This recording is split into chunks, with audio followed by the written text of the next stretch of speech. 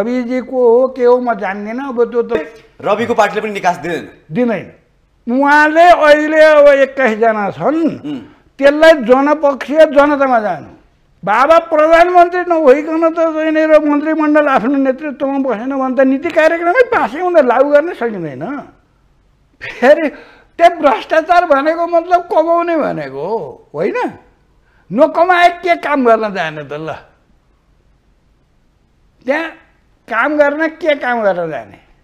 मुक्त न्यायालयदेखि लिएर सबै ठाउँमा भागभन्दा अंशभन्दा हुन्छ। अंशभन्दा भन्ने भागभन्दा भन्ने अर्को राजनीतिमा सहमति हुन्छ। जस्तो बहुमत कसैको भएन भने। तर कम्युनिस्ट पार्टीको चुनाव चिन्हलाई काङ्ग्रेस पार्टीको नेता गएर भोट दिए चाहिँ भन्दैन।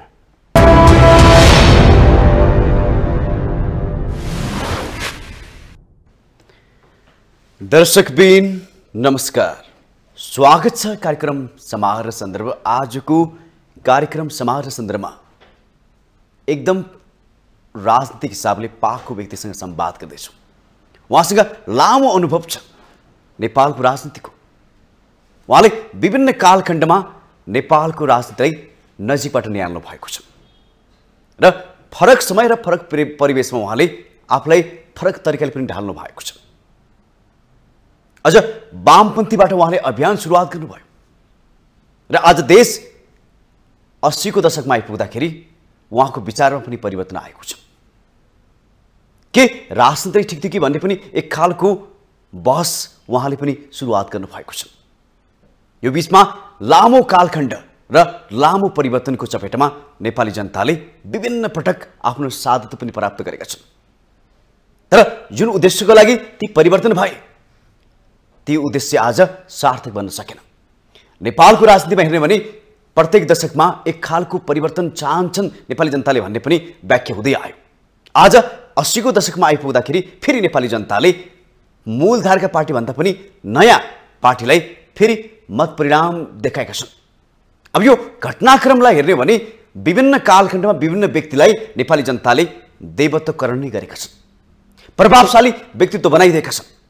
तर ती प्रभावशाली व्यक्तित्वहरू एकाएक असफल बन्छन् फेरि नेपाली जनताले फेरि मत परिवर्तन गर्छन्। यहाँ दोषी को भन्ने कुरा अब प्रश्न उठ्न थालेको छ। कुनै समयमा प्रचण्ड देउबा गिरिजाप्रसाद कोइरा लगायत विभिन्न व्यक्तिहरू प्रभावशाली बने अत्याधिक लोकप्रिय बनी बने तर ती व्यक्ति नै फेरि आम जनताको नजरमा गिरेर गए। अझ पछिल्लो समयको सम्पादन गर्ने भने केपी शर्मा ओली अत्याधिक लोकप्रिय बने। अब केपी शर्मा ओलीलाई छोडेर नेपाली जनता अहिले राष्ट्र स्वतन्त्र पार्टीप्रति एक खालको आकर्षण देखाइरहेका छन्। कि यो आकर्षण पनि साँच्चीकै भोलि आम जनताको हितमा होला कि नहोला? आज यो विषय पनि पेचिलो विषय बनेको छ। किनकि लामो इतिहास हेर्यो भने कुनै समयमा प्रचण्ड पनि निकै लोकप्रिय बने। बाबुराम लोकप्रिय बने। तर ती लोकप्रिय पात्र जनताको लागि लोकप्रिय बन्न सकेनन् आज। अब जनता कहाँनिर सचिनुपर्छ कि फेरि यी पात्रले देशको हितमा काम गर्लान् कि नगर्लान्? किनकि आजका व्यक्तिसँग लामो नेपालको राजनीतिको अनुभव छ। र प्राय जस्ता नेतासँग उहाँको नजिकसँग सम्बन्ध रहेर उहाँले काम पनि गर्नुभएको छ। लामो अनुभव र यो अनुभवले नेपाली जनता कहाँ? र नेपालका हरेक पटक चुनिने नेताहरूको अवस्था के? र नेपालका नेताहरूले कसरी काम गर्दै आए? आज हामी यो समग्र पाठमा संवाद बस गर्नेछौँ उहाँको अनुभवलाई आज यो संवाद मार्फत सेयर गर्नेछौँ र अहिले फेरि नयाँ पार्टी उत्पन्न भएको पार्टीको बारेमा पनि आज संवाद गर्छौँ यो समग्र पाठमा संवाद गर्नको लागि लेखक लामो समयदेखि वामपन्थीका अभियन्ता र लामो अनुभवका व्यक्तित्व राजनीतिक विश्लेषक मोहन चापागाईसँग आज संवाद गर्छौँ अब भने आजको संवादमा उहाँलाई यो संवादमा जोड्न चाहन्छु। तपाईँलाई स्वागत छ। नमस्कार। तपाईँले सुरुमै प्रश्न मैले के गरेँ भने तपाईँसँग लामो अनुभव छ नेपालको राजनीतिको। आज अस्सीको दशकमा आइपुग्दाखेरि फेरि नेपाली जनताले आफ्नो मत परिणाम फरक पारेका छन्। नयाँ पार्टीलाई स्थापित गरिदिएका छन्। यसलाई कसरी हेर्नु भएको छ? खगेन्द्रजी तपाईँले अघि नै पृष्ठभूमि बनाइसक्नुभयो। अब समय समयमा परिवर्तन भयो सात साल भयो। सत्र सालै भयो जुन घटना होस् त्यो पनि परिवर्तनै हो। छत्तिस साल भयो छयालिस सडचालिस साल भयो बैसठी त्रिसठी भयो। हामी कोत पर्वततिर नजाउँ। यसमा मेरो सोच मैले चालिस उन्चालिस उन्चालिस चालिस सालमै भने जबसम्म आफ्नो स्ववाद आफ्नो राष्ट्रवादको विचार आउँदैन तबसम्म मुलुकको बाले सही बाटो लिँदैन भनेर मैले आफै घोषणा गरेँ। चालिस सालमा? चालिस सालमा। जुन बेलामा म पुष्पलाल नेतृत्वको कामरेड पुष्पलाल नेतृत्वको एक प्रकारले भन्नुहुन्छ भने साँच्चै म सशक्त नै मान्छे थिएँ। आदर्श व्यक्तित्व हुनुहुन्थ्यो तपाईँ। ल। तर मैले स्वयं पुष्पलालजीलाई पनि के भनिदिएको थिएँ भने मार्क्सको सिद्धान्त राजनीतिक सिद्धान्त होइन शुद्ध पढ्ने दर्शन हो। यो दर्शनलाई दर्शनको रूपमा हेरे ठिक छ। यदि राजनीतिकरण गर्यो भने त्यो चाहिँ संसारमा टुक्रिन्छ।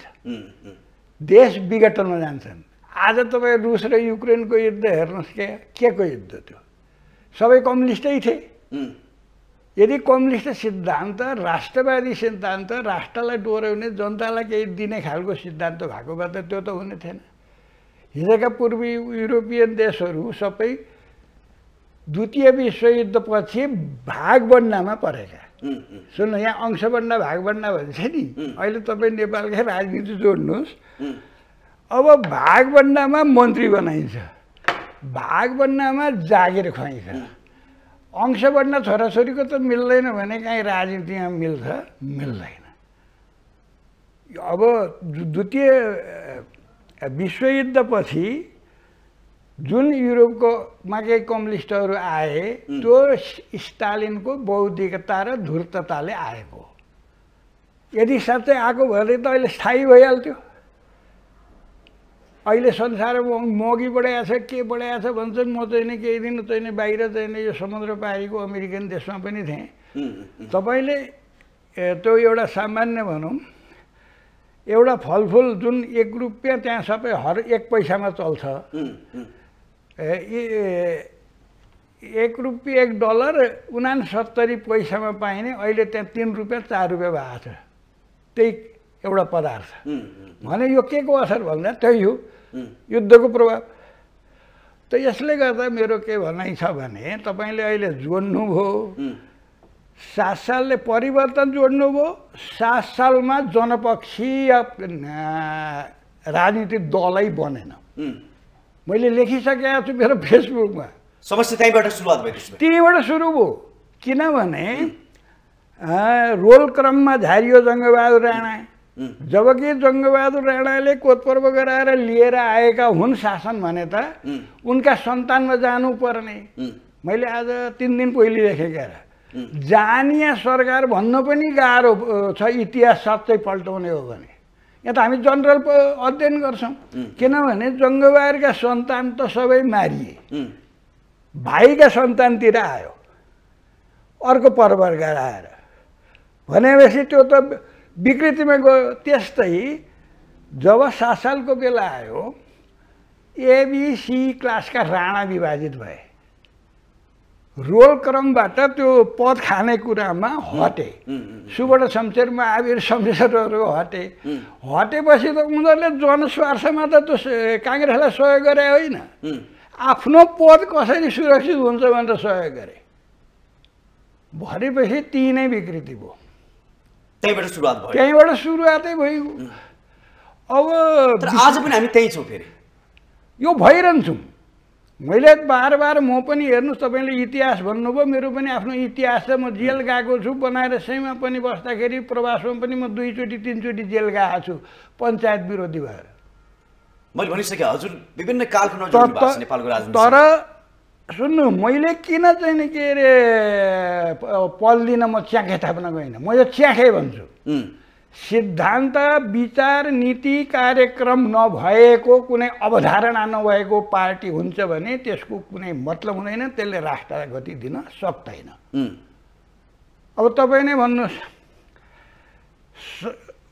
सत्र साल आयो भने चाहिँ मैले पहिले महेन्द्र राजाको धेरै विरोध गरेँ।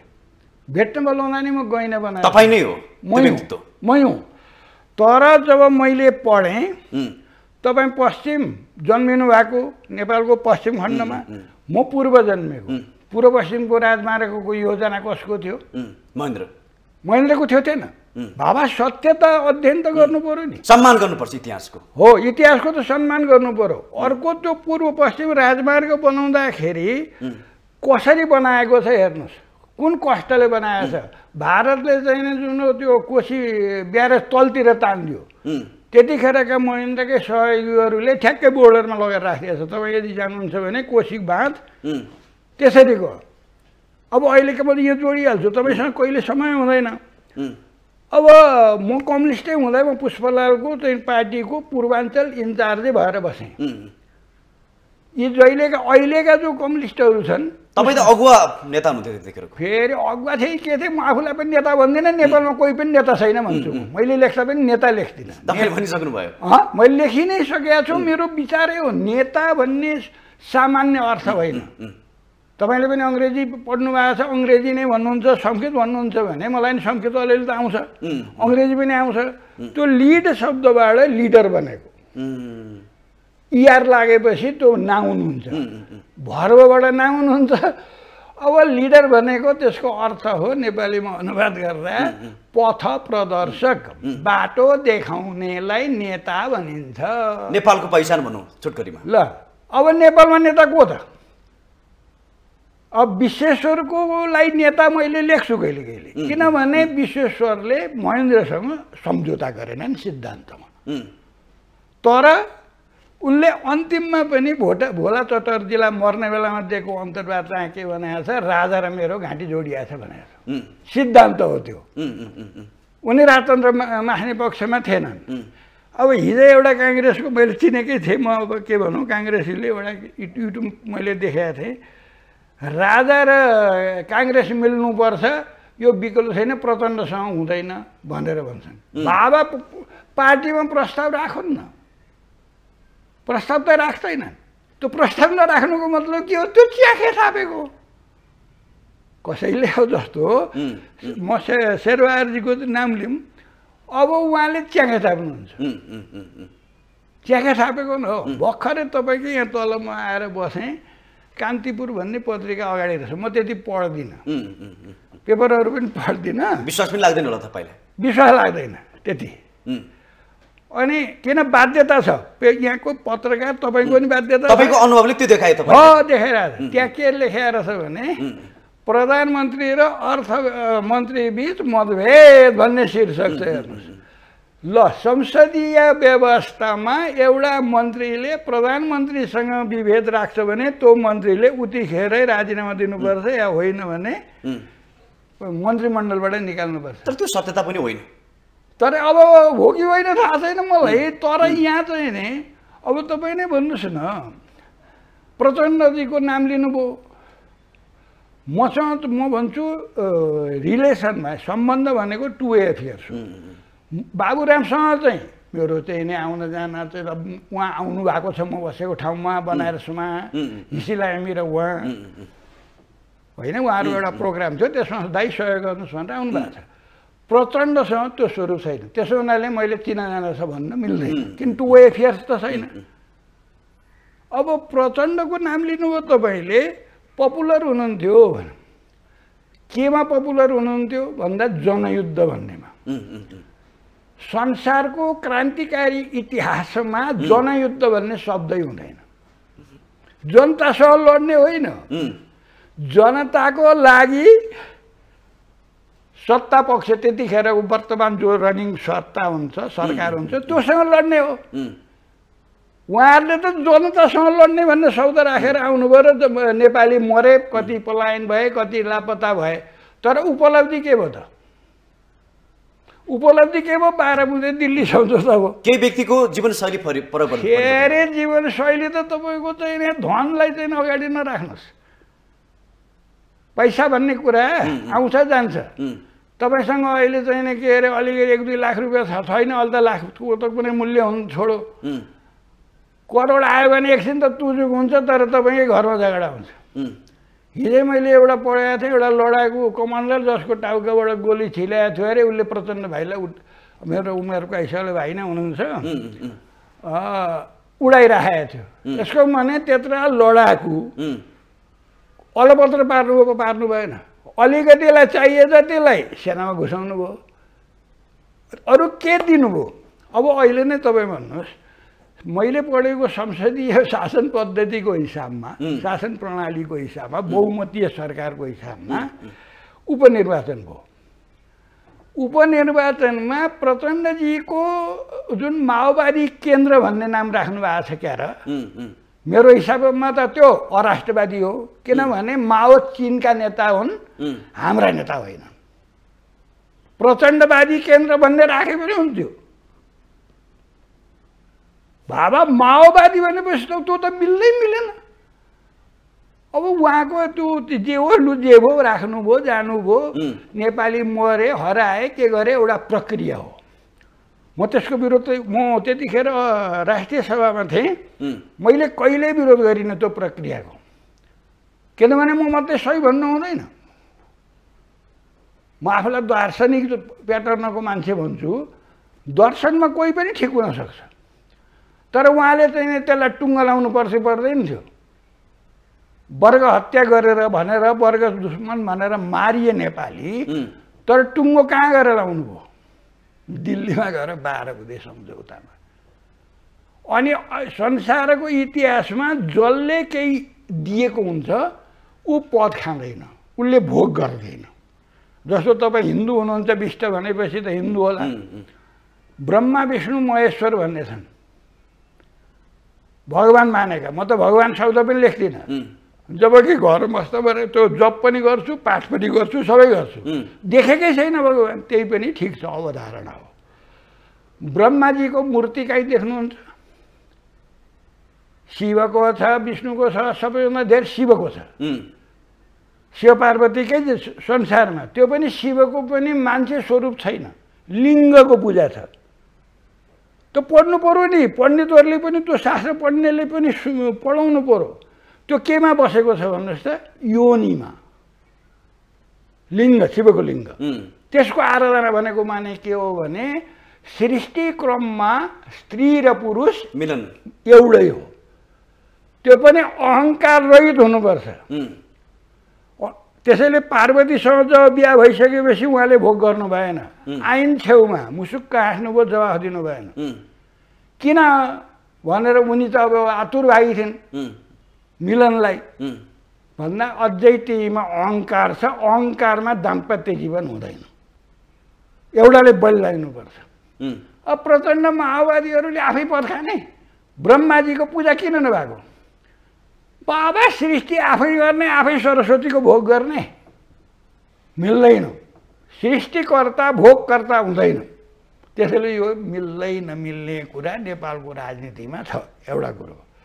अर्को तपाईँलाई बताइदिउँ संसारको कुन इतिहासमा गठबन्धन भन्ने शब्द हुन्छ हाम्रो देशमा त होला नि। फेरि त्यो तपाईँ बिगे त्यो त यो देश बन्दैन मैले चार दिनसम्म त त्यो अब राष्ट्रिय सभामा मैले मिठै बोलेँ त्यहाँदेखि मलाई पागल भन्थे। बाबा भत्ता बढाउने के गर्ने विदेश जाने डलर पाइँदो रहेछ। त्यहाँ अरू कुरै हुँदैन ती। अहिले पनि तपाईँ चाहिँ नि जानुहोस् पत्रकारहरू हुनुहुन्छ। हिप जारी भएको दिन त त्यहाँ सांसद सबै बस्छन्। जुन दिन हुइप हुँदैन बस्दैन। यसको मतलब के? हिउँदे अधिवेशन चाहिँ केही पनि काम भएन। फेरि केही हुँदै हुँदैन बाबा भाग बट्नाले पनि काहीँ राजनीति हुन्छ। जो होस् म त यो सिद्धान्तको मान्छे हुँ। के त्यो लिडरसिप जनपक्षीय लिडरसिप हुने नेतृत्व हुनुपर्छ? तर ला यो कसरी बोल्नु? ए यो ड्राइभरको हो त्यो अर्को ड्राइभर आयो हेर्नुहोस् नेतृत्व हुनुपर्छ प्रधानमन्त्री हुने मान्छेले आफ्नो नीति कार्यक्रम लागू गर्न सक्नुपर्छ यहाँ सक्छ प्रधानमन्त्री भर्खरै मैले यहाँ तल पढेँ अर्थमन्त्री र प्रधानमन्त्री बिचमा मत मतान्तर भने न उहाँले त्यो अर्थमन्त्रीलाई निकाल्न सक्नुहुन्छ किनभने शेरबहादुरीका मान्छे हुनुभयो क्या काङ्ग्रेसका होइन किन काम मैले यो भेद गरिदिइसकेको छ काङ्ग्रेस भनेको सिद्धान्त हो काङ्ग्रेसी भनेका कहाँ पद पाइन्छ के पाइन्छ हेर्नुहोस् त्यो आज त्यो इतिहास बोकेको काङ्ग्रेस गठबन्धन नगरिकन नहुने अवस्थामा पुग्यो किन बाबा जनतालाई खुसी पार्नै सकेन जनताको कामै गरेको छैन आफ्नो जीवन स्तर बढाउनुभन्दा अरू गरेकै छैन। त्यसले मेरो सोच स्पष्ट छ। बिना सिद्धान्तको राजनीति अगाडि जान्छ बिना सिद्धान्तको कार्यक्रम बन्छ भने त्यो केही हुँदैन। त्यो हुँदै टिकै हुँदैन अहिलेसम्म किन चलेन? नेताहरू मान्न तयार छैनन्। फेरि नेतै नेपालमा छैन। नेता भए त नेपाली जनताले मानिहाल्थ्यो नि। अहिले ठुला पार्टी भनेका मान्छेलाई जिताए। यो अर्कै चाहिने जनताले एउटालाई नेता बनाइदियो रवि लामी छानै के हुनुहुन्छ स्वतन्त्र पार्टी? अघि उसले गर्दै हुन्थ्यो। तर म पनि उहाँलाई पनि हेरिरहेको छु. किनभने उहाँ त जाने साथ पहिलोपल्ट चाहिँ बिसवटा आयो कि कतिवटा जितेर जानुभयो। गृहमन्त्री खोज्नु। सिद्धान्तवादीले मन्त्री खोज्दैन पद खोज्दैन। उप पनि खोज्नुभयो। फेरि त्यही त भाग भन्दा। यो अहिले नै म चुनाव जितेर आउनुभयो के अरे? त्रिचालिस कति त्यो उन्न यसपालि अलिक धेरै भोट भ- भ- आएछ चौन्न हजार कति छ अरे? म अब सरकारलाई दिएको फिर्ता लिन्छु भने के भनेको त्यो? किन समर्थन भन्दा त समर्थन भनेको त नीति कार्यक्रम देशको लागि त्यो मा आधारमा गरिन्छ। जस्तो मसँग कसैले केही भन्छ भने मसँग एकपल्ट चाहिँ अब अहिले त कता हुनुहुन्छ थाहा छैन। म सिपी मैनाली पुरानो माले पार्टी त्यो झापा आन्दोलनबाट जन्मिनु भएको पहिलो मान्छे नै हो उहाँ। दाइ मलाई सहयोग गर्नु पऱ्यो भन्नुभयो।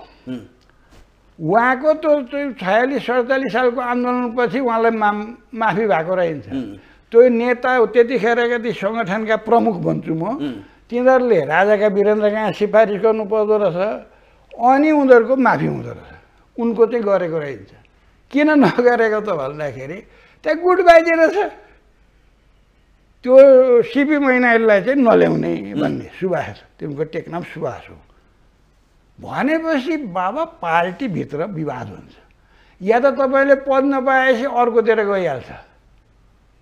भने त्यो त राजनीति भएन। त्यसले नेपाल बनाउन सक्नुहुन्न। तपाईँले पनि सक्नुहुन्न। म तपाईँ पत्रकार मैले पनि सक्दिनँ। मैले मार्क्सवाद होइन नेपालवाद भनेर धेरै किताब लेखेँ। त्यो के- नेपाली काङ्ग्रेसको प्रचारमा अडचालिस सालको चुनावमा मलाई जहाँ तक लाग्छ दिनको एघार ठाउँसम्म भाषण गरेँ। त्यसो भए तपाईँलाई प्रश्न के गर्यो भने तपाईँसँग लामो अनुभव छ। विभिन्न कालखण्डमा नेपाली जनताले कुनै कुनै व्यक्तिलाई शक्तिशाली बनाए प्रभावशाली व्यक्ति नै बनाए नेता नै बनाइदिए देवत्वकरण नै गरिदिए।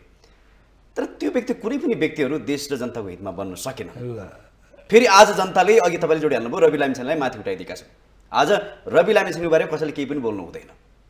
जनताले मन पराएको छ। फेरि म बोल्छु? उहाँको सिद्धान्त के हो? पहिले त उहाँको काम हेर्नु पर्यो। काम उहाँले सरकारमा गएर दुई चारवटा कता भन्सा त्यो एजेन्ट हटाउनु भयो अरे के भन्ने मैले सुनेँ म त्यतिखेर देशमा थिइनँ। म बाहिर थिएँ। अनि फेरि गृहमन्त्री चाहिँ नि हट्नुभयो अरे। अब गृहमन्त्री हटिसकेपछि फेरि अहिले चाहिँ नि फेरि गर्छु भनेर फेरि आउनु भइरहेछ अब जस्तो तपाईँकै उहाँकै पार्टीका एकजना चुनाव जित्नुभयो तनहु एकबाट। स्वर्णिम। वाग्ले भन्ने मैले त मि- चिन्दिनँ त्यो उसमा।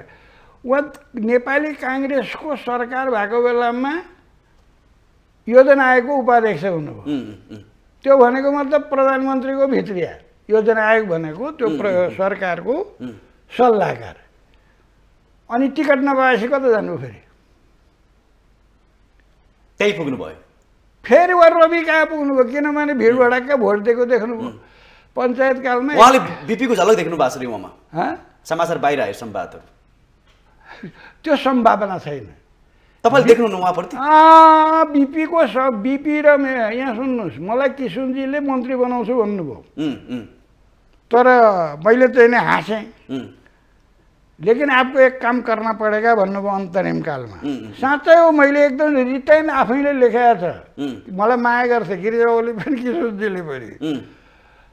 अनि लेकिन आप एक काम करिए भन्नुभयो हिन्दीमा बोल्नुहुन्थ्यो। उम्, क्या भनेको? विश्वेश्वर असफल म सफल कृष्ण प्रसाद सफल भनेर त बोलेर जा बोल्न सक्छस् भन्नुभयो। मैले भने विश्वेश्वरका पाँच सातवटा किताब छन् तपाईँका क्या है भने हिन्दीमा? तपाईँले कतिवटा के दिनुभएको छ देशलाई काठमाडौँ बसेर पार्टी जीवित राखिदिनु भयो। यो तपाईँको ठुलो देन छ नेपाली काङ्ग्रेसलाई जीवित राख्नमा। तर तपाईँ देशभरि सङ्गठन गर्न कहाँबाट हिँड्नुभयो? संसारको इतिहासमा खगेन्द्र भाइ परिवर्तनपछि संसारमा आफ्ना देश घुमेका हुन्छन् सङ्गठनका प्रमुखहरू आफ्नो सङ्गठन बढाएका हुन्छन्। यहाँ त परिवर्तन हुने साथ कसले कुन पद पाउने भनेर भाग भाग भन्न जान्छ। गाउँको पनि केन्द्रमा पुग्छ। त्यसैले यो मुलुकमा केही हुँदैन बढी गएर राम्रो सत्य हुँदैन। ल तपाईँले सोधे विश्वका जाने देशहरू हेर्ने भने धेरै पटक परिवर्तन खोज्ने र धेरैपट्टि सं- संविधानमा परिवर्तन हुने सम्भवतः हाम्रै देश होला। गिनिजमा नाम लेख्न मिल्छ होला। तर यसका बावजुद नेपाली जनताले संविधानै। यहाँ तपाईँको बनेको छैन अब यहाँ हेर्नुहोस्। एकपल्ट म चित्रबहादुरी भन्ने नाम सुन्नुभएको छ उहाँसँग मेरो किन म टेलिफोनमा वार्ता भएको मान्छेको नाम लिन्छु? सङ्घ राज्य भाइ मान्नुहुन्न मोहनजी तपाईँ पनि समर्थन गर्नुहोस् भन्नुभयो। तपाईँहरू समकालीन होला। हँ? समकालीन हुनुहुन्छ। होइन त उहाँहरू ठुला मान्छे हुन् कि के हो? म जान्दिनँ म केही सदनमा हुनुहुन्छ अहिले। फेरि सदनमा मिलेर खाएको छ आफ्नो पार्टीले बनाएको छ र अर्काले भोट दिएर बनाएको छ। हेर्नुहोस्। अनि पछि त उहाँ त मन्त्री हुनुभएछ उप प्रधानमन्त्री अनि मैले सोधेँ हो दाइ के गरेको यो? भने। दाइले भन्थ्यो अलिक उमेरमा धेरै हुन्छ जस्तो एक दुई। वर्ष जेठ हुनुहुन्छ होला धेरै त अँ, हुनुहुन्न। त्यस्तै धेरै छैन त्यस्तै छ कि जस्तो मलाई ला- थाहा छैन। अब संविधानको कसम खाएपछि जुन संविधान हो ठिक बेठिक म त मान्दिनँ यो संविधान भनिसकेको छु। किनभने म सङ्घ राज्य मान्दिनँ। उम्, सङ्घ राज्य मैले स्वीकार गरेँ भनेर चाहिँ किरिया खाएको छ छैन राम राम सत्यवाला भनेर जस्तो उम्, एकतिर पार्टीको उहाँको मोर्चाको नीति चाहिँ सङ्घ नमान्ने। मन्त्री चाहिँ खाने। मन्त्री खाएकै दिन त अहिले कति पैसा पाइन्छ थाहा छैन। त्यो संसद सचिवालय मन्त्री परिषदको सचिवालयले दुई लाख पठाइहाल्छ पहिल्यै उम्, के उपलब्धि भयो कुन सिद्धान्त भयो त्यो? तपाईँलाई यिनीहरूमा अर्को जोडिदिउँ मोहन विक्रम सिंह भन्ने नाम त सुन्नुभएको छ। मोहन विक्रम सिंह सिंहले आनन्दबहादुर छेत्रीको नाममा गद्दार पुष्पलाल भनेर लेख्नुभयो। नेकपा एमा माले माने नेकपाका महामन्त्रीलाई। किन गद्दार भन्नुभयो भने पहिलो त भारतीय विस्तारवाद भन्दैन यसले भारतमा बस्छ भनेर। अर्को काङ्ग्रेससँग मिलेर क्रान्ति गर्छु भन्छ त्यसैले गद्दार हो भनेर उहाँले गद्दार भन्ने आनन्दबहादुर छेत्रीको नाममा किताबै लेख्नुभयो। अहिले शेरबहादुर काङ्ग्रेसको सङ्गठनको प्रमुखसँग मिलेर चुनाव लड्न जानुभएको छ छैन। भने कुन सिद्ध मोहन चापागाईलाई डगमगाउन् न। म गिरिजाको चार दाडी चार सारीमा भन्ने तपाईँहरू जस्तै पत्रकारले गिरिजा बिगार्नेमा चार दाडी चार सारी भनेर लेखिहिँडे उम्, तर तपाईँलाई बताइदिउँ खगेन्द्रजी म काङ्ग्रेसको सदस्य भएको थिइनँ चिफ गेस्ट भएर देशव्यापी भाषण गरेँ मैले सदस्य भएको भएदेखि त मलाई कारवाही काङ्ग्रेसले गरिहाल्थ्यो नि अनि मोहन तपाईँलाई फेरि फिर्ता भन्थ्यो तपाईँले देख्नुहुन्छ नि कहिले कारवाही अरे कहिले फिर्ता अरे काहीँ काहीँ फिर्ता भन्छ राय सिद्धान्त मिल्नुपर्छ। जस्तो यहाँ मलाई भन्नु जबसम्म राष्ट्रिय चिन्तनको पार्टी भन्दैन म नेपालमा पृथ्वीनारायण शाहको परम्पराको राजतन्त्र चाहिन्छ भन्ने मान्छे। त्यसो भए जनताले किन चिन्नु सकेन भन्ने कुरा हो नि त। त जनता त यहाँ माथिपाती जनता हो। हाम्रा देशभरि यहाँ आ, मन्दिर म छन् मस्जिद छन् तर खोज्न जान्छ कहाँ चारधाम? यी चाहिँ मैले लेखेँ एकपल्ट। चारधाममा हरिद्वार बनाइदिउँ। नारायण घाटलाई विकास गरेर। किन गङ्गाजी बगेर आएका? ऋषिकेश बनाइदिउँ देवघाटलाई। मुक्तिनाथ पशुपतिनाथ यिनैको दर्शन गराए चारधाम हुँदैन। शाली आखिर- नदी। हँ? र त स्थापितै गरेको त हो नि। जहाँ पनि उही शिवको लिङ्ग नै स्थापित गरेको के हाम्रो यहाँको चाहिँ नि पशुपतिनाथ ज्योतिर्लिङ्ग हुँदैन र? म बस्ने घरको चाहिँ नि माथि त महेन्द्र महेन्द्रेश्वर भन्ने छन्। त्यो लिङ्ग होइन र? आखिर उयो यो नि माथि बस्नुभएको छ। तर बाह्र लिङ्ग खोज्न कहाँ जान्छ? इन्डिया। हौ त्यसैले यो संस्कार मुक्त नहुन्जेल कहाँबाट के झर्ला भन्ने खाउँ मैले अब तपाईँलाई बताइदिउँ शेरबहादुरजी प्रधानमन्त्री हुनुहुन्थ्यो। एकजना भयङ्कर हिन्दू। ल्याउँछु भन्ने सङ्गठनको प्रमुख हुँ भन्नुहुन्थ्यो मलाई। दाइ तपाईँ पनि लाग्नुपर्छ भन्नुहुन्थ्यो। एकदम विरोध गर्नुहुन्थ्यो सरकारको तर पछि सल्लाहकार बनाइदिए सकियो। भाइ यो त राजनीति भएन। तपाईँले अब अहिले हो त्यो जुन बेलामा संसद विघटन गरेका थिएँ मैले तिनवटा टिभीमा बोलेको छु। यदि संसदीय व्यवस्था मान्छन् भने. मैले हेर्नुहोस् कन्डिसन। प्रधानमन्त्रीले संसद भङ्ग गर्न पाउँछ भनेर भने। मैले ख- खड्गबलीको समर्थन पनि गरेको होइन। तर यहाँ चाहिँ नि के हो भने अग्रगमन होइन प्रतिगमन हो भने क्या हो अग्रगमन भनेको? तपाईँ अघि वामपन्थी जोड्दै हुन्थ्यो मलाई पनि। वामपन्थी भन्ने विचारधारा ब्रिटिसको देन हो कम्युनिस्टको होइन। कम्युनिस्ट वामपन्थी हुँदैन। कम त्यो वामपन्थी भनेको त तपाईँ अहिले सदनभित्र जानुहुन्छ पत्रकारहरू म त गएको उम्, सरकार पक्ष दाहिनेतिर बस्छ प्रतिपक्ष देब्रेतिर बस्छ। जब पार्लिमेन्टरी सिस्टम संसदीय व्यवस्थाको ब्रिटिसमा विकास भयो त्यसरी आएको। अब अहिले इतिहास बताउँदाखेरि त कमन सभा कसरी त भन्नुपर्छ। त्यसैले गाई गाईलाई गोरु भनेर के अरे गोरुलाई गाई भनेर तपाईँले दुध दिन्छ। त्यही भएर यहाँ असफल हुन्छ। ब- आफ्नै बहुमतको सरकार प्रचण्ड भाइहरूले गिराउनु भयो गिराउनु भएन। जनताले कसलाई भोट दिएको? नेकपालाई भोट दिएको थियो। न प्रचण्डलाई दिएको थियो न खड्गबललाई दिएको थियो। तर आफै हारलुस गरेर एकदम मैले त्यो लेख्ने गरेको छु फोहोरी खेल लुछाचुडी अब यहाँ पद नपाए माधवजीले माधवजीसँग चाहिँ बोलचाल छ। थियो भनौँ अचेल त छैन। आफ्नो पार्टी फुटाउनु भयो। उहाँको त्यो एमालेमा धेरै लगानी छ। किन फुटाउनु भयो भन्दा उहाँलाई पद मिलेन। उहाँका मान्छेलाई पद मिलेन। कारण त्यति हो। अनि त्यहाँ भन्दा के चाहिँ भयो त? अब हिजै मैले त्यो अचेल यो चुनावपछि देखाएको थिएँ ठुला दल फेल खाए भन्छन्। किन फेल खायो भनेर त विश्लेषण गर्दैन। उम्, किन फेल खायो भन्दैन विश्लेषण गर्नु पर्यो। त्यसैले असही यसलाई मैले गठबन्धन भन्ने तपाईँको के भन्छ होइन संवाद अब यहाँ मात्र रहेन पुरानो पार्टी मात्रै फेल भएन भोलि नयाँ आउने पनि फेल हुन्छ फेरि। सबै फेल हुन्छन्। रविजीले चाहिँ नि त अलि त्यो बिसजना लिएर गएपछि त मन्त्री पद खान जानै हुन्थेन। मेरो हिसाबले तर देश त अस्थिर भयो नि त फेरि। फेरि अस्थिर अस्थिर भएर के भन्छ? तपाईँले जबसम्म विचार दिनुहुन्न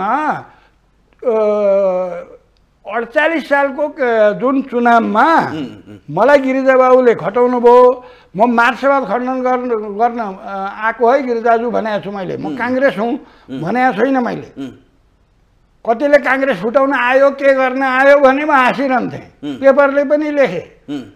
तर म मार्क्सवादको खण्डन गर्थेँ मेरा त्यतिखेरका भाषा सत्य त्यही बोल्नुहुन्थ्यो। जे थियो त्यही बोल्छु। किनभने म अहिले पनि भन्छु कम्युनिस्ट विचारधारा संसारबाट अन्त हुँदैन राजनीतिबाट कुनै देश बन्दैन युक्रेनको तपाईँले यही प्रश्न गर्दैछु म। त्यसो भए जनता किन चाहिँ माथि उठ्न सकेन? चेतनशील हुन सकेन? चेतनशील कसरी हुने? राजनीति सात सालमा एबिसी क्लासबाट आयो। एउटा वर्ग त्यो काङ्ग्रेसको नेतृत्वमा नेपाली राष्ट्रिय काङ्ग्रेस र प्रजातन्त्र काङ्ग्रेसलाई मिलाएर राष्ट्रिय शब्द हटाएर यिनीहरूले नेपाली काङ्ग्रेस बनाए कुन शब्द हटाएका छन् इतिहास हेर्नुहोस्। प्रजातन्त्र काङ्ग्रेस र राष्ट्रिय नेपाली काङ्ग्रेस। बा राष्ट्रिय शब्द चाहिँ हटाए। अनि त्यो भारतको इसाराबाट हो। तपाईँ कृष्णबहादुर देवकोटाको त्यतिखेरका सन्धि हेर्नुहोस्। कोशी सम्झौता गण्डी सम्झौता के के सम्झौता भनेर चाहिँ नै कम्युनिस्ट हुँ भन्नेले विरोध गर्थे। अहिले गर्छन्? महाकालीको विरोध गर्छन्? त्यसैले पदभोगी सुविधाभोगी सिद्धान्तमा लागेका संसारमा देश डुबेका छन्। कत्रा कत्रा संसार डुबेका छन् भने पहिलो चुनावमा यो बाह्र बुँदैपछि आएको संविधान सभाको चुनावमा यो कसैलाई नभए त्यो ड्राइभरले हो उम्, के प्रचण्डको पार्टीलाई दिए दिएनन् बहुमत अनु उसमा दिए समानुपातिकमा दिएनन् फेरि किन भन्दा डर त्रास थियो केही गर्लान् कि भने अहिले हुँदाहुँदै पतन हुँदाहुँदै कहाँ पुग्यो तिनैजना त होइन यदि रवि लामिछाने स्थिर भएर राष्ट्रलाई केही दिन चाहनु भएन भने हेर्नु होला अहिले यता एक्काइस पुऱ्यायो अरे पहिले बिस टिकेर अहिले दुईवटा जितेपछि त्यो एउटा घटो बढो के के भयो जोड घटाउ। किनभने यहाँ सरकार बनाउँदा जोड घटा हुन्छ नि। त्यसैले यो हुँदैन। सिद्धा तपाईँले नीति कार्यक्रम अब विश्वेश्वर जोड्नुहुन्छ। विश्वेश्वरले राजा र मेरो घाँटी जोडिया छ भनेको छ छैन म वीरेन्द्रको समर्थक भएँ त्यो राजतन्त्रको समर्थक भएँ। तर अहिले म कहीँ हिँडेको देख्नुहुन्छ राजा आऊ देश बचाऊ भनेर। यो ला यो गलत नीति हो। राजा आएर देश बचाउने कि जनता आएर देश बचाउने? मैले ज्ञानेन्द्र सरकारैलाई त्यो भनिदिएको। तपाईँले यही भन्दैछु म अघिदेखि प्रश्न यही छ। तपाईँले समयसँग पनि व्याख्या गर्नु भएको छ। त्यो पाँच वर्षपछि सत्य होला। आजको संवाद पनि पाँच वर्षपछि सत्य हुन आउला। तर जनता सचेत भएन। यो संवाद तपाईँले हिजो पनि बोल्नु भएको सत्य सत्य तपाईँको चाहिँ नि कहिल्यै पनि छेडेको हुँदैन। यो यो जुन प्लेनको आविष्कार भयो नि लियोनार्डो डी भिन्ची भन्नेले यसो सोचो कल्पना गरो त्यहाँदेखि पाँच सय वर्षपछि राइट ब्रदर्सले बनाए। मेरो विचार पछि गरेर होला। नेपाल बनाउने नेपालको चाहिँलाई अखण्डित राख्ने हो भने नेपालवादी हुनै पर्छ नेपाली चिन्तन ल्याउनै पर्छ। यहाँ माओवादी केन्द्र भएर चिन आएर पनि बनाइदिने होइन। तपाईँले त्यो चिनको माओवादी जोड्छन् नि। चिनका माओवादी चाहिँ जुन माओ हुनुहुन्थ्यो माओ सेतुङ। उहाँ कम्युनिस्ट विरोधी हो। तर त्यो व्यक्ति नै पाउन सकिने राष्ट्रले। समस्या त यहीँनिर हो नि। त्यही पाउन सकेर अस्थिर भयो। तपाईँलाई मैले भने जनताले जसले भरमा पार्न सक्छ जनतालाई। जनताले होइन जनताले पहिलो चाहिँ नि अडचालिस छयालिस सडचालिसको परिवर्तनपछि अडचालिसको चुनावमा नेपाली काङ्ग्रेसलाई बहुमत दियो दिएन। दियो। अनि त्यो बहुमतको सरकार कसले गिरायो? चौहत्तर र छत्तिस भएर आफ्नै पार्टीकाले। कसले गिरायो? यसको मतलब के नपाएर। अब त्यो नेता त्रय भनेर तिनीहरूले राखे। कुनै विधानमा छैन। काहीँ एउटा पार्टीको नेता तिनजना हुन्छ एउटा हुन्छ। यहाँ अहिले चाहिँ नि म मलाई तपाईँले सोध्नुहुन्छ म जवाब दिन्छु। मै सोध्ने मै चाहिँ नि जवाफ दिने गरेर हुन्छ। त्यही भएर तिनजनाका ताना तानमा गरे गिरिजाका नजिक हुनेले पद खान पाए ती कृष्ण प्रसाद र गणेश मान्छेसँग हुनेले पद खान पाएन। अनि आफ्नै सरकार गिराए। त्यही फेरि अर्को आउनुहोस्। नेकपाले खड्गौलीको पालामा दुई- झन्नै झन्नै दुई तिहाई पुग्ने बहुमत थियो त्यहाँ किन गिरो? पद नपाएर एकजना स्टुडेन्ट नेता थिइन्। ए राम्रो बोल्नुहुन्थ्यो। मैले त भने चिनेर छैन। मन्त्री नपाएपछि हैरान। माधवजीले पार्टी फुटाएर जानुभयो मन्त्री तिमीहरू रामकुमार। त्यो तपाईँहरू जान्नुहोस् म जान्दिनँ। नेपालमा कोही नेता छैन। किनभने आफ्नो कार्यकर्तालाई अलपत्र पार्ने मान्छे नेता हुँदैन। जस्तो मोहन चापागाईले पार्टी सानोतिनो पार्टी गठन गरेको भएदेखि हुनसक्छ अहिले समानुपातिकमा अलिक सजिलो छ। तपाईँहरू जस्ताले दुई अलिकति पत्याइदिनु भयो। ल म संसदको सांसद भएँ मन्त्री भएँ नीति त लागु हुन्छ प्रधानमन्त्रीको। अरू का अरू मन्त्री त के हुन् लोकन्ते हुन्। झन् अहिले त के हो भने गठबन्धनले बहुमत बनाइ पुरा पुऱ्याइदिएको छ। ल बत्तिसजनाको प्रधानमन्त्री छ। एक्काइसजना रवि चाहिँ नि फेरि प्रधानमन्त्री भयो भएन र त्यसै गर्ने भने। अनि शेरबहादुरका कति छन् असी नब्बेजना कति? त्यो के भयो? त्यसैले हुँदैन। सिद्धान्तलाई अगाडि सार्नुहोस्। दे तत्काल फल नखोज्नुहोस्।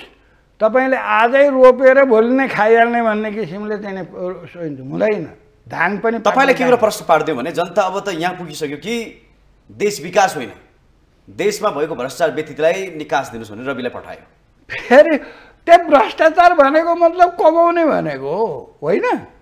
नकमाए के काम गर्न जाने त ल? त्यहाँ काम गर्न के काम गर्न जाने? भ्रष्टाचारबाट मुक्त गर्नु न्यायाधि न्यायालयदेखि लिएर। सबै ठाउँमा भागभन्दा अंशभन्दा हुन्छ। तपाईँले सबै कब्जा छ अनि त्यो अंशभन्दा भन्ने भागभन्दा भन्ने अर्को राजनीतिमा सहमति हुन्छ जस्तो बहुमत कसैको भएन भने। तर कम्युनिस्ट पार्टीको चुनाव चिन्हलाई काङ्ग्रेस पार्टीको नेता गएर भोट दिए चाहिँ भन्दैन त्यो सङ् पछि पो सहमत हुन्छ। बहुमत पुगेन भने बहुमत ल्याइन्छ तर यहाँ त पहिले नै गठबन्धन अरे। भनेपछि त यसलाई मैले के नाम दिएको छु भने सैद्धान्तिक भाँडतन्त्र सैद्धान्तिक छाडातन्त्र। लु माधवजीले किन फुट्नु फुटाउनु भयो दसजना कतिजना अहिले छन् क्यार उहाँका नामका? मन्त्री नपाएपछि त्यहाँ तपाईँले छ छ महिना भनेर पठाएर छेकाएर दुई चारजना भयो चिन्छु एक दुईजनालाई। त्यो छ महिना फिर्ता हुन मान्दैनन्। तपाईँको एकपल्ट त्यही भयो भएन। शेरबहादुरको पालामा मन्त्री पठाउनु भयो फिर्ता हुँदा भन्दा नमानेर उत्पात। के नेता भयो ती? नेता त भएन। त्यसैले लिडरसिप चाहिन्छ। अहिले पनि त्यो नेपाली काङ्ग्रेस जीवित किन छ? मैले अस्ति हिजो होइन अस्तिको दिन लेखेको छु। विश्वेश्वरले महेन्द्रसँग सम्झौता गरेका छैन। जबकि महेन्द्र राजाको पञ्चायत कालमा राम लक्ष्मण जस्ता मान्छे मारिए। काङ्ग्रेसका होनार युवा थिए म चिन्छु। तर पनि विश्वेश्वरले के भन्नुभयो? राजा र मेरो घाँटी जोडिएको छ भन्नुभयो राजतन्त्र नेपालमा रहेन भने यो देश रहँदैन भन्ने वाक्य छ। उनको कुरो हो। त्यो बोल्ने आँट गरे ल अहिले चाहिँ नि प्रचण्डको शेरबहादुरको माधव नेपालको खड्ग ओलीजीले त कहिले कहिले मैले देखेँ खड्ग ओलीजीको कता अयोध्या यहीँ छ भन्नुहुन्थ्यो। कहिले कहिले त्यो नक्सामा चोसे बनाउनु भयो अरे। तर त्यो उहाँ अब उमेर पनि भइसक्यो बिरामी पनि हुनुहुन्छ होइन? यो अडानमा नेकपालाई रा लानै रा अ, सक्नुभयो भने. अनि केही गर्नुभयो। फेरि इन्डियाको इसारामा राजदूत आएर मिलाइदिन्छ यहाँ। हेर्नुहोस् त सात सालमा चाहिँ नै राजा त्रिभुवनको इतिहास त मलाई बताइदिउँ? कोच पर्व हुँदाखेरि राजेन्द्र राजा गए त्यो ब्रिटिसमा शरण दिन ब्रिटिस एम्बासीमा दिएन। किनभने त्यो राणाहरूलाई ब्रिटिस हुकुमतको सहयोग थियो। सात सालमा के भयो? फेरि त्रिभुवनलाई लिएर दिल्ली लगेर सम्झौता गरायो। अनि त्यो त्रिभुवनको सल्लाहकार कसलाई बनायो? इन् इन्डियामा इन्डियन मान्छेलाई। त्यो पनि कर्मचारीलाई बौद्धिक मान्छेलाई ल्याइछ कहिले कहिले? सल्लाहकारमा। विज्ञलाई ल्याइछ तर कर्मचारी तन्त्रको मान्छे ल्याइँदैन। ल्याए। त्यतिखेर हेर्नु ती नै विकृति भइगयो नि तपाईँले सुवाद दिने विकृत भयो भन्ने तपाईँले व्याख्या गरिरहेको थियो त्यसो भए रविको पार्टीले पनि निकास दिँदैन। दिँदैन। उहाँले अहिले अब एक्काइसजना छन्। त्यसलाई जनपक्षीय जनतामा जानु। ल हामीलाई बहुमत देऊ भनेर। बाबा प्रधानमन्त्री नभइकन त चाहिँ र मन्त्रीमण्डल आफ्नो नेतृत्वमा बसेन भने त नीति कार्यक्रमै पासै हुँदा लागू गर्न सकिँदैन। कसरी लागू हुन्छ? यो अहिले तल चाहिँ त अर्थमन्त्री प्रकाश शरणजी हुनुहुन्छ क्यारे? किनभने चिनेको मान्छेको नाम लिनु पऱ्यो प्रचण्डजीलाई म चिन्दिनँ पुष्पकमल दाहाल नाम भने तपाईँ जस्तै पेपरवाला लेखेको प्रधानमन्त्रीसँग मत मतान्तर राख्ने हो भने मिल्छ। नेपाली काङ्ग्रेस भनेको पुरा। एक प्रकारको पहिले मिक्स इकोनोमी थियो। अहिले यो स्वतन्त्र इकोनोमिक पोलिसीवाला मार्क्सवाद माओवाद भनेको मजदुर वर्गको नेतृत्वमा पुँजीवादको विकास गर्ने भनेर नयाँ जनवाद ल्याएका माओले। अनि मिल्छ? त्यो बेमेल सङ्गठन यो गठबन्धन छाडातन्त्र मात्रै हो सैद्धान्तिक भाडातन्त्र हो यो देशलाई केही हुँदैन रविजीको हो के हो म जान्दिनँ अब त्यो तपाईँको चाहिँ के फोर के ग्यालेक्सी के भन्ने एउटा टिभी थियो त्यसमा बोल्नुहुन्थ्यो पहिले फोर के टिभी हँ? त्यस्तै। थियो। अब अर्को एकजना पत्रकार हुनुहुन्छ उहाँको पनि त्यस्तै छ। जनता जान्न चाहन्छन् भन्ने ऋषिजीकै छ। उहाँ चाहिँ किन राजनीतिमा आउनु भएन के हो. उहाँलाई चाहिँ चिन्छु म। उहाँले दुई तिनचोटि म बोलेको छु नि। अब पालो आउनु सक्छ। अब पालो आउनु सक्छ। बा मेरै बा मैले सांसद गएर नि काम छैन। जबसम्म म नेपाली विचारधाराको राजनीति गर्दिनँ। जस्तो- म राजतन्त्रवादी मान्छे. राजा ज्ञानेन्द्रसँग चाहिँ अहिले त हुनुहुन्न म भूतपूर्व हुनुहुन्छ। राजावादी हुँ भन्नेले त्यो चाहिँ पुनर्स्थापन के के भन्ने छ मैले लेखेको कुरो पिटिको पारिदिन्छु थिचिदिन्छु पोस्ट गर्छु। तर त्यो मेल सिद्धान्त होइन। अब अन्तिम टाइम छैन राजा राजा अहिले हुनुहुन्न। राजतन्त्र सधैँ जीवित हुन्छ शाश्वत हुन्छ। हिजो पृथ्वीनारायणको विरोध गरे अहिले सत्ताइस गते छुट्टी दिइदिएन त्यसैले उहाँको इतिहासलाई बिर्सिनु हुँदैन हामीले। हो त्यसैले इतिहास सम्मान गर्नुपर्छ। सम्मान। अब अन्तिम हामीसँग धेरै टाइम छैन अन्तिममा जे भने देशलाई निकास चाहिएको छ। निकास यही हो। निकासको पाटो के हो त त्यसमा? अन्तिम निकासको पाटो यही हो। म जस्ता विचारधारा भएका मान्छेलाई मैले यति देशव्यापी टुर गरेँ यति विचार गरेँ माने हिँडेँ तर मलाई सहयोग गरेनन्। जनता आएनन्। नभए मैले एघार बाह्र ठाउँमा भाषण गरेको काङ्ग्रेसमा म आधे म कसैको एड्रेस लिनु थिएँ आदरणीय नेपालीहरू मेरो कुरा सुन्नु संसारमा कम्युनिस्ट हुँदैन भने फेरि कम्युनिस्टलाई दिएको छ छैन यो मोहन चापाकैले किन भन्न चाहिँ अडचालिस साल के अरे उन्चालिस साल चालिस सालमा नेपाल बात भनेर त अलिकति खोज गर्नु पऱ्यो नि। फेरि म देशभरि गएको छु। मैले बुकलेट छोडेको छ। अहिले पनि तपाईँहरू जस्ता त्यो चाहिँ मलाई मेरा शुभचिन्तकै भन्नु पर्यो न यहाँ त टिभी पनि बोल्न पाइँदैन। अब यो मेरो कुरामा थोरै हुन्छ। अब त्यहाँ गाली गलोजदेखि खालका कमेन्ट हुन्छन् बरु तपाईँ र मेरोमा हुँदैन। किनभने जनतालाई तत्काल फल चाहिएको छ। तत्काल। फल हुँदैन। क्रमशः आउँछ। हस् यो समय सम्वादलाई धेरै धेरै ल धन्यवाद दिएँ। धन्यवाद खगेन्द्र भाइ चाहिँ नि अब। यस्तै मेरो विचार जान्छ। म बोलेको म बाँचुन्जेल अहिले अठहत्तर वर्ष भएँ बाँचुन्जेल बोलिरहन्छु। हस् नमस्कार नमस्कार। पक्कै पनि दर्शकबिन जुन खालको सिद्धान्त पार्टीले व्यवहारमा देखाउनु पर्थ्यो त्यो सिद्धान्त अझै पनि देश र जनताले पाउन सकेको छैन। वास्तवमा भन्यो भने नेता नै देशले पाउन सकेको छैन। यदि आज देशमा नेता हुन्थ्यो भने देशले चाहिँ नि गति पाइसकेको हुन्थ्यो भन्दै आजको संवादबाट म कार्यक्रम सञ्चालक खगेन्द्र विष्णु बिदा हुन चाहन्छु। नमस्कार।